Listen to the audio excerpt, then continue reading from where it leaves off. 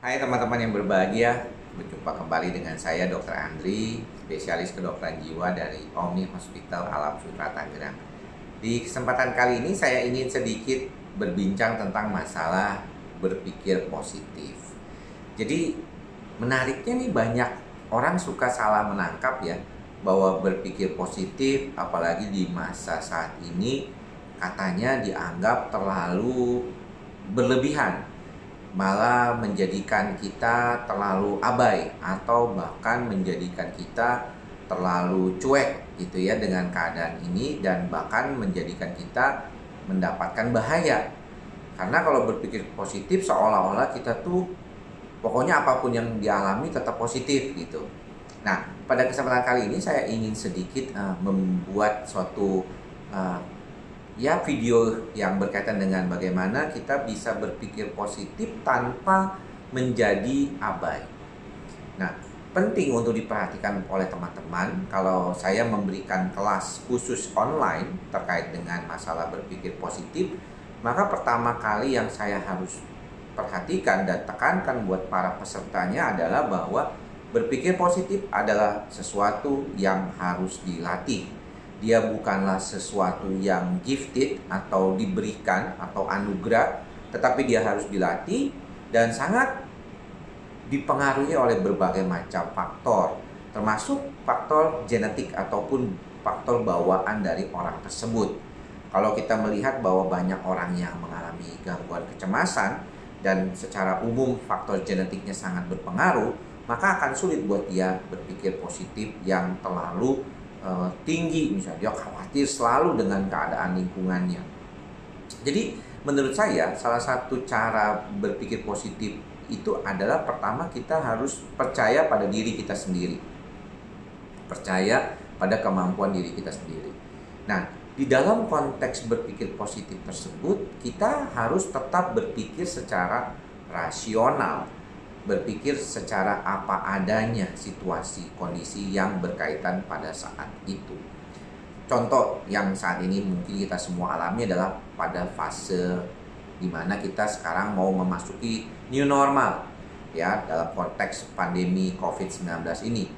Maka sebenarnya ketika kita berpikir positif adalah kita tahu bahwa situasi krisis itu kita pasti akan bisa lalui. Itu nomor satu yang harus kita lakukan setiap kondisi di dalam kehidupan manusia, ketika ada krisis, biasanya kita akan bisa melaluinya dengan cukup baik. Walaupun tentu perlu adanya pengorbanan-pengorbanan.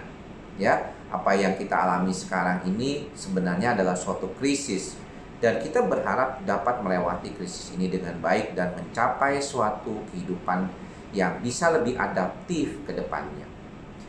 Lalu setelah rasa percaya diri disertai rasional thinking ataupun pikiran rasional bahwa hal ini akan kita bisa lalui, maka tetap kita harus lebih rasional dalam menjaga protokol kesehatan kita.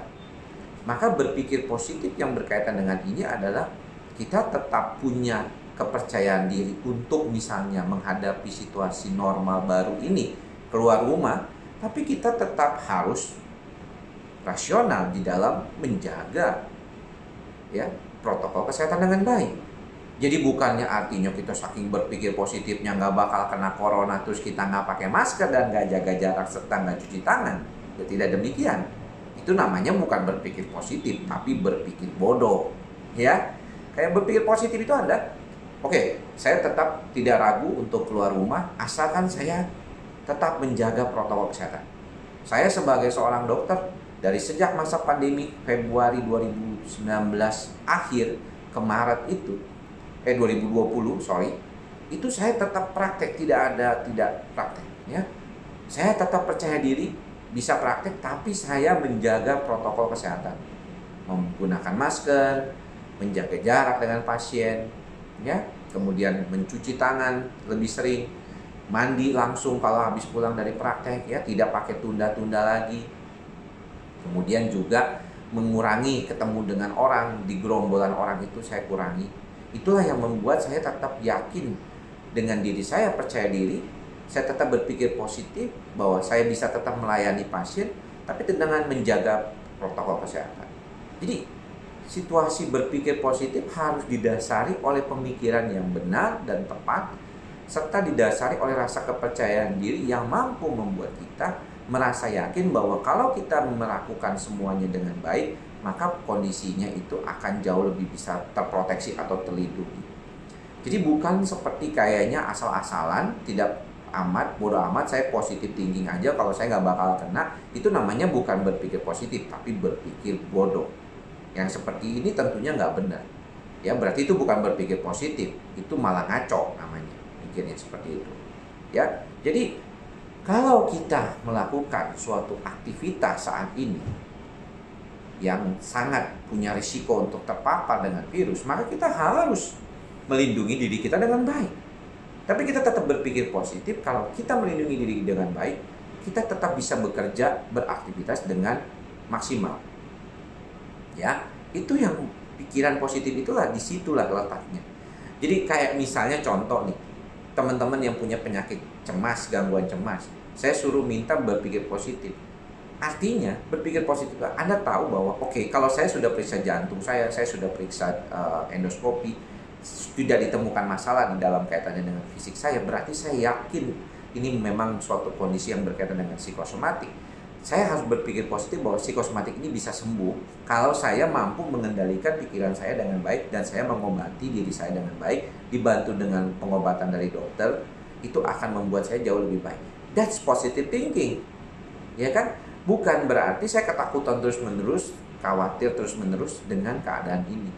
Jadi saya sering kali menjelaskan kepada teman-teman bahwa positive thinking di dalam konteks yang saya sering kali temukan di dalam praktek saya dan kemudian saya sebarkan buat teman-teman pasien-pasien saya adalah kita juga harus melihat rasionalnya dulu kayak apa? Rasionalnya dulu kayak apa? Ketika orang itu misalnya psikosomatik dia tahu bahwa dia harus berpikir positif bukan berarti dia bodoh amat dia nggak mau berobat kan? Tapi dia tetap harus belajar berpikir lebih baik. Dia memberikan dirinya suatu keyakinan dengan pengobatan ini akan jauh lebih bisa bermanfaat buat diri dia. Nah, itu yang sebenarnya dasar dari berpikir positif yang di ya didasari oleh situasi pemikiran yang baik, yang rasional, yang mengerti secara apa adanya dan mampu mengatasi keadaan itu dengan baik. Itulah sebenarnya yang diperlukan saat ini. Jadi bukan artinya thinking positif yang abai yang membuat seperti semuanya itu bukan. Itu namanya bukan uh, thinking positif menurut saya. Kalau menurut saya itu bukan positif thinking. Kalau kita cuek gitu, yo, pokoknya yang penting kita semangat, yang penting kita positif. Ini akan kita lewati semua. Tapi kita abai dengan segala macam hal yang membuat kita jauh lebih baik ke depannya. Berarti kita salah itu. Berarti kita salah menempatkan arti dari berpikir positif tersebut. Bukan salah berpikir positifnya, tapi kita yang salah mengartikan arti dari berpikir positif tersebut. Jadi belajar berpikir positif ada situasi yang perlu tetapi harus diyakini, didasari oleh suatu keyakinan dan juga rasional thinking ataupun berpikir rasional yang benar. Demikian apa yang bisa saya sampaikan buat teman-teman semua. Tetap sehat jiwa dan raga. Semoga kita bisa bertemu lagi di lain kesempatan. Sampai bertemu di lain kesempatan. Salam sehat jiwa. Bye bye.